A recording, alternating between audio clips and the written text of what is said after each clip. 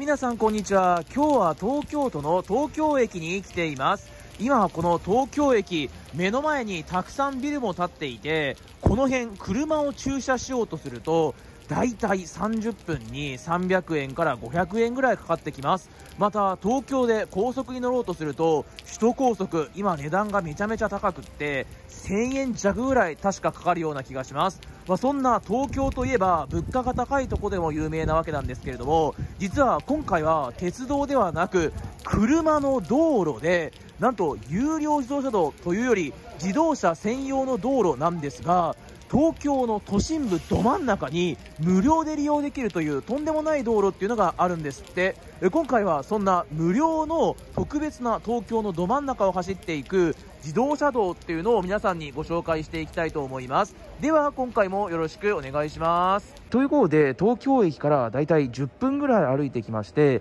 丸の内永楽ビルという場所にやってきました。ここがだいたい地下鉄でいうと大手町の地下ぐらいになっていまして今回は車のお話をしていくぞということでタイムズカーにお世話になろうと思います。この水色のライズと呼ばれる車を今回は使っていきます、まあ、車のことを全然わからないんですが、まあ、結構大きくてかかっこいいですよね。うん特にこの青色というか水色の色がいいなと思います。はい。なんかちっちゃいようで大きいようでというなかなか面白い車なんですけれどもこの車にお世話になってでは早速今から旅を進めていきます。ということで車に乗ってきまして今回は東京のど真ん中を無料で走れる有料道路なんか日本語おかしいんですがのご紹介なんですがその無料で走れる自動車専用道路の入り口っていうのが西銀座と呼ばれる場所にあります。これご覧ください今大手町にいるんですけれどもここからなんと1.1キロです東京からわずか1.1キロで今回の、ま、車の場所に行くことができるよということで、このランプっていうのがどうやら入り口っぽいんで、ここにちょっと行くを選択してみますと、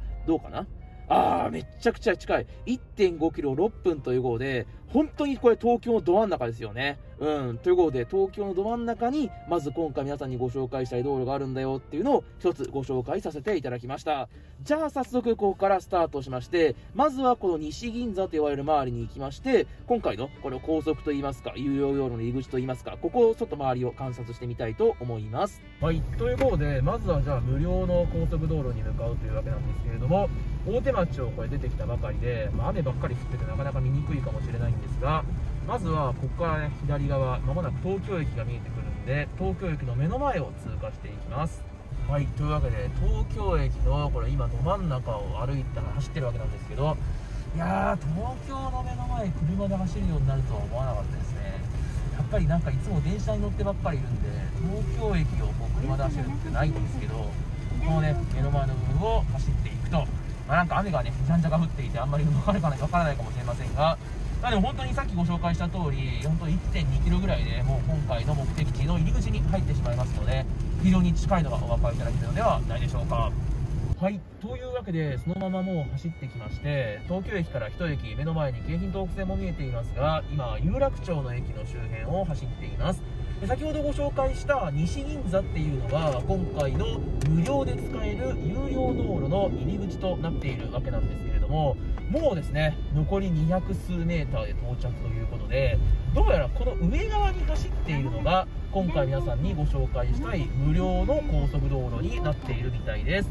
でもうこれ左に行くのかな？違うかちょっと前に行って行くのかな？すいませんちょっと説明が東京の運転は不慣れなんであれなんですけれども。なんですが、まあ、ちょっと細い道を通りながらももう間もなく 100m ぐらいで、えー、今回の高速道路の入り口ということたいですので一旦高速道路の近くに着きましたらなんとなく外観を皆さんにご紹介してみたいと思います。はい。ということで東京のど真ん中というか銀座のど真ん中にやってきましていよいよ今回のまずスタートの目的地にやってまいりました。上側見ていただきますとしっかりと高速道路上のものがありましてこの目の前の入り口っていうのが今回皆さんにご紹介したい無料の高速道路になっています。左側見ていただきますと国際フォーラムも見えているのでいかに東京のど真ん中かっていうのがこれを見るとお分かりいただけるのではないでしょうか。今車が入っていきましたがご覧ください。左上には車以外入れないよっていう標識がしっかりとついています。まあこれを見るとなんだみりんとかもダメですしこれバスとかもダメなんですね、うん、一方で右の方を見ていきますと歩行者自転車は入れませんとしっかりと書かれております。自動車道入り口です。そうこここそが今回皆さんにご紹介したい無料の高速道路である東京高速道路の西銀座入り口となっています。しっかりと自動車道と書かれていまして東京高速道路なんですね。東京といえば首都高速が有名かと思うんですが東京高速なんていうのも存在をしています。で今すごい結構車入ってきますね。うんなかなかに人気な道路だなっていうのがわかるんですがまずはここからちょっと高速の中側見てみたいと思います。では早速見ていきますとこんな感じで上側に上がっていって何やら本線っぽいものと合流するという流れになっているみたいですね。でやっぱり高速道路といえば料金所っていうものがあるというかつきものかと思うんですけれどもこれを見ている感じではどうも高速道路の、料金所みたいなものはなさそうという感じなんですよね。料金所ないなんてちょっと不思議な感じがしますよね。やっぱり無料なんでしょうか。えそして左側の方を見ていきますと自動車道事業共用約款とか書かれていて東京高速道路、え、株式会社と書いてあるんですね。でこれご覧ください。この第3条に本当社は本自動車道の利用料金を無料とするってちゃんと書いてあるんですよね。すごい。なんと無料ということなんです。でこれを見ていただきますとこの高速道路っていうのがどうやらなんだこれは、えー、蓬莱橋から新京橋と書かれていまして共用区間は 2004.004m わずか 2km か短いなということになっております。であとはなんか目新しいものは特にはないかなっていう感じなんですけれどもなんか大型バスとかはダメよっていう風に書かれていて、まあ、重量が20トン以下と。であとこれもう一つびっくりするのが自動車の最高速度は毎時 40km なんですね。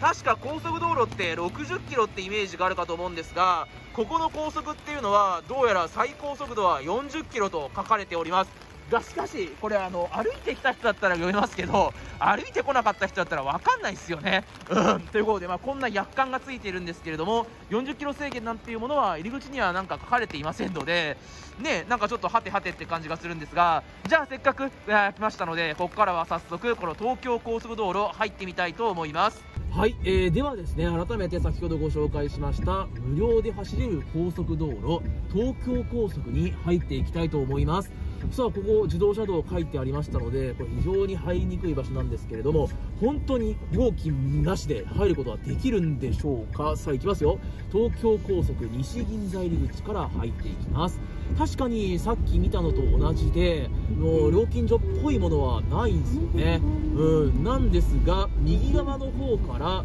どうやら車が合流しそうな感じがありますね。あーでもすごい。東京の周りなんですけれども明らかに高速道路っぽいです。で右側から今車は来てないんでそのままちょっと入っちゃいますけれどもいきなりカーブしますね。でどうやらこれは片側1車線みたいです。左側に今西銀座のこれなんか料金所がありますね。僕が走ってる部分は特に料金所はないんですけれどもなんでですかね。なんか今料金所がありましてそのまま走っていきます。まあすごい銀座のど真ん中。なんか確かに上側で結構レストランとかもあったりするんでその上にまさにこんなものがあったって分からなかったんですけれども確かに道路交通標識も40キロって書かれていますのでね、まあ、40キロか。高速道路っぽくないですよね。で高速道路あるあるの緑色の看板っていうのはどうやらこの道路についてはついていないみたいですね。でもまあこれカーブ危険っていう風に書かれていますから、まあ、40キロ制限でも十分といういうか、まあ、40キロぐらいが安全なのかなって感じです。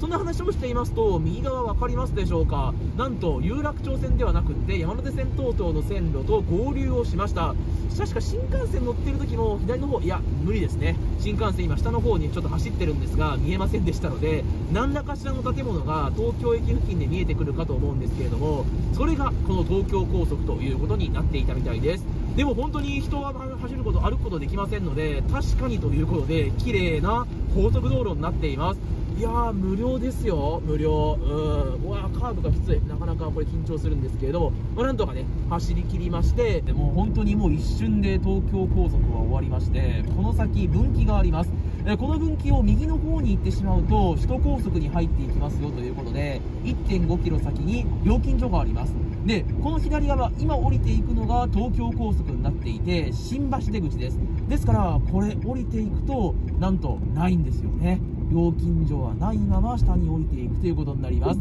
間違って右に行ってしまうと問答無用で料金がかかってしまいますのでご注意ください。さらにこの道路もめちゃめちゃ分かりにくくてここ一方通行になっていて左側にしか回ることできません。なんか顔の向きだけ行くと右側に行けそうじゃないって感じがするかと思うんですが左側にしか行けないんでこれもめちゃめちゃ厄介なんですよね。うん。ということで2つの厄介要素がついているっていうのがこの東京高速道路の出口ということになっています。で、まあ、結局先ほどの道路っていうのも首都高速からの合流で東京高速。で東京高速からまた首都高速っていうことになるわけですから首都高速と結局東京高速。って有料無料有料ってことになってるんですよね。まあこの区間だけを使うんだったら無料にしてくれてめちゃくちゃありがたいなっていう感じにもなるわけではあるんですけれども果たして、じゃあ本当に無料高速っていうのがあったせいで、よく考えてみると、首都高速から1回出なきゃいけないわけなので、まあ、それが果たして良かったのか良くなかったのかってなりますよね。料金打ち切られちゃったら、二重で首都高速の料金が取られるのかっていう、まあ、いろんな疑問が湧いてくるわけなんで、じゃあそれをどうするのかっていうのをここからお話ししていきたいと思います。ということで、高速道路、首都高を挟んで移動する前に、えこちら側、高速の出口のご紹介をしていきたいと思います。これが新橋の出入り口です。先ほど皆さんに道路でご紹介しましたが、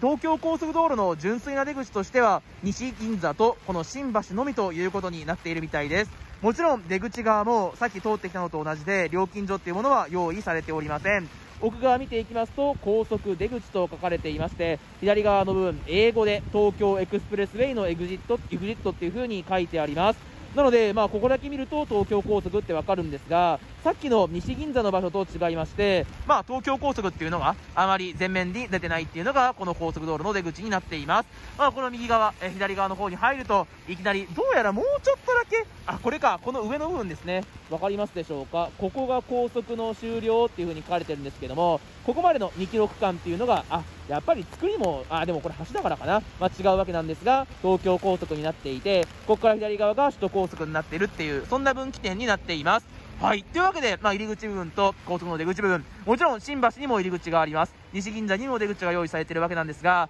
まあ、入り口と出口、2つご紹介しましたので、ここから先は、一体真ん中に無料が挟まっている場合、どのような、どのような扱いになっているのかを、実際に首都高を経由しながらご紹介していきます。はい。ということで、改めまして、首都高速に入ってきました。まずは芝浦という出口から入ってきまして、首都高速1950円の料金を払いました。まあ、今これ完全に有料道路ですので、上側見ていただきますと、緑色の、えーと、都市高速で首都高速のいわゆるこう緑の看板に変わっておりますでじゃあ実際にどういう風になっていたのかっていうのをじゃあ次はせっかく領収書持っていますので領収書で確認してみたいと思います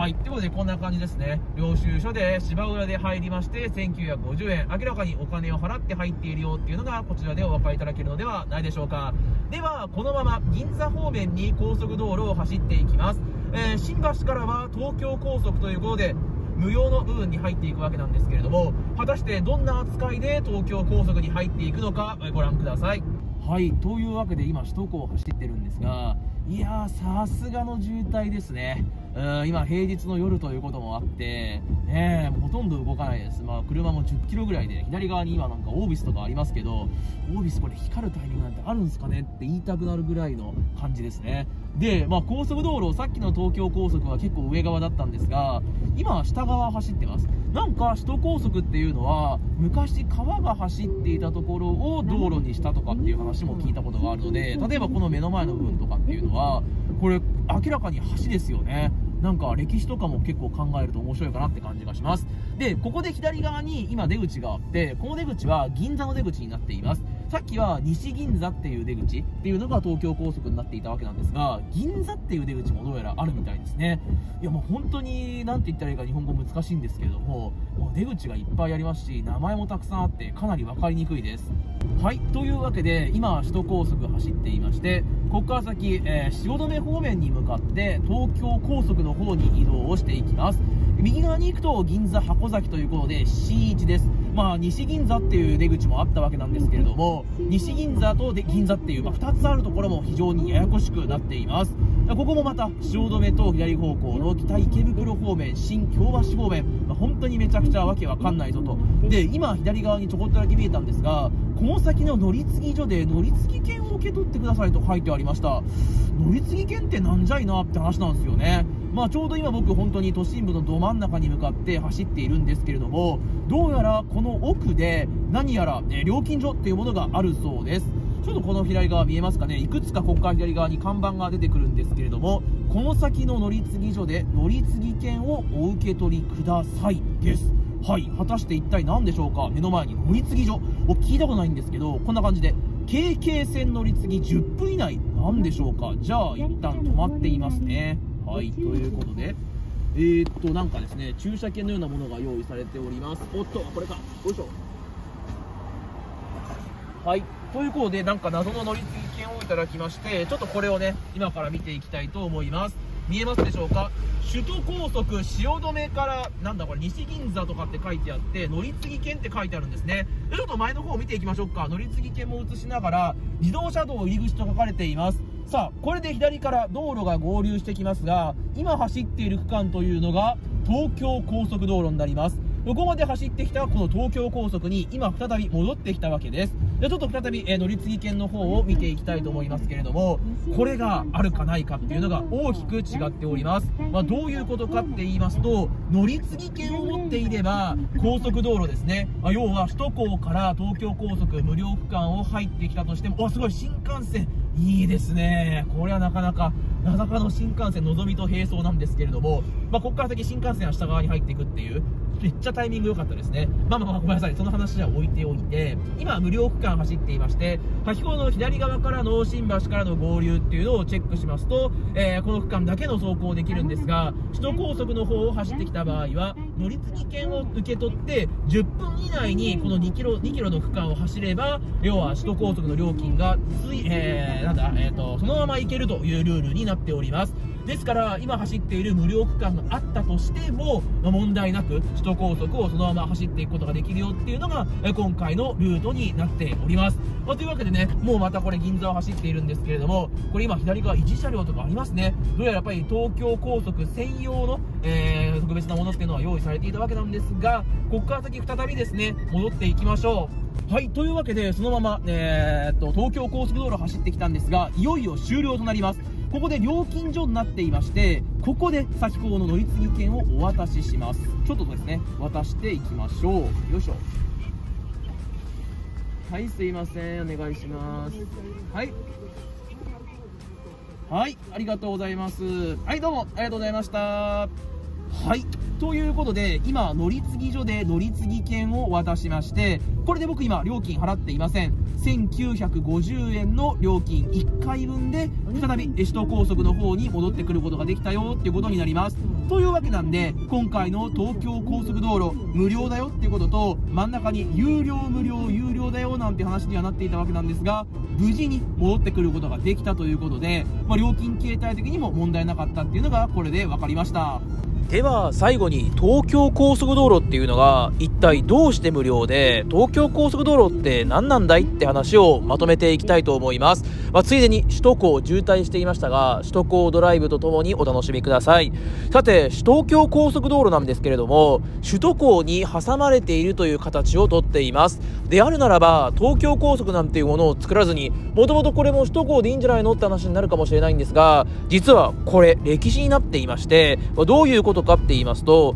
この東京高速は1959年に開通しております。じゃあ首都高はって話なんですが実は首都高は1962年に部分開業して今回の東京高速に関わる首都高の部分っていうのは1964年です、まあ、つまりは東京高速道路の方が歴史が長いんです。へーって思っていただけましたでしょうか。そう実は東京高速っていうのはもともと1951年に、まあ、財界人の23名っていう方が戦後の銀座の復興とかっていうこととあとは自動車の交通量がやっぱり東京ですからかなり飽和しているよっていうことで、まあ、それを緩和しようねってことで作ったのが東京高速道路になっています。でこの東京高速道路を作るぞっていう際に要はどういうふうに、まあ、料金とか取るのかって話をした際東京都の認可というのがどうやら無料でなければ降りないぞという話になったので東京高速は無料で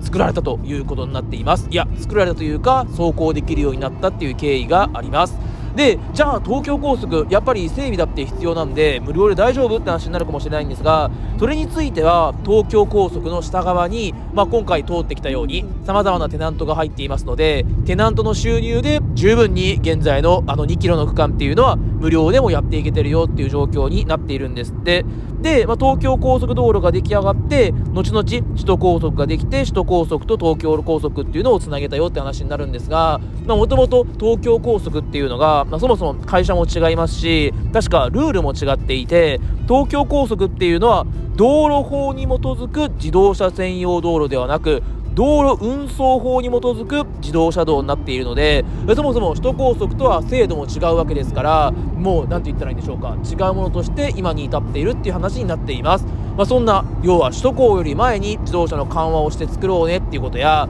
財界人の方を方がお金を出そうねっていったことになっていたっていう話とかあとはその時代要は首都高より前の時代に東京としては無料であれば作ってもいいよっていう風なお話になったので現在の謎の高速道路っていうのができているっていうことが今回の東京高速道路の謎になっています。じゃあ東京高速は将来的にどうなっていくのかって話なんですが実は今首都高で日本橋日本橋の上を高速道路が走っているんですがそれは景観的にちょっとねってことでなんと首都高を日本橋の下に入れてしまおうっていう計画になっています。でその過程で首都高とつながっている東京高速っていうのは実は廃止されてしまうんですって。まあ東京高速と首都高っていうのはバラバラに運営されているってものにはなっているんですけれどもまあやっぱり接続をされているってこともありますので、まあ、ほぼ一体的に見てもいいかなってことになっていますのでその日本橋の計画とともに東京高速は実はなくなってしまうというまあちょっと最後はあっけないねっていうのが今回の東京高速になっています。まあということで東京都心部銀座新橋あそこを無料で走ることができるかなり特殊な高速道路ではあるんですが東京から本当にすぐそばで簡単に乗りに行くことができるよというかなり楽しい高速道路になっていますのでまだちょっといきなり廃止するかっていうわけではないんですけれども将来的に廃止が決まっている東京高速道路皆さんもよろしければ東京に来られた際は乗られてみてはいかがでしょうか。確かに渋滞は回避できますしね。無料の高速道路あの東京のど真ん中を高速料金なしで入っていく快感は何者にも買い難いです。はい。ということで今回動画は終了したいと思います。この動画が面白かったという方ぜひチャンネル登録よろしくお願いいたします。ではまた次の動画でお会いしましょう。最後までご視聴いただきましてありがとうございました。バイバイ。